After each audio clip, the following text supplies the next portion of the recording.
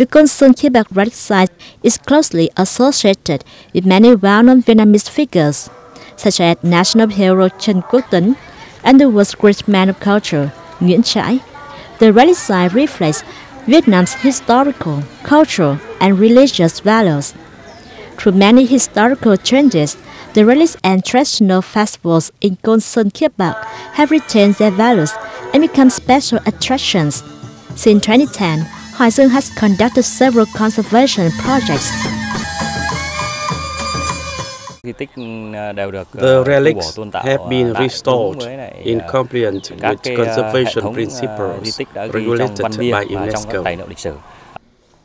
Côn Sơn - Kiếp Bạc was recognized as a national relic site in 1962 and a special national relic site in 2012.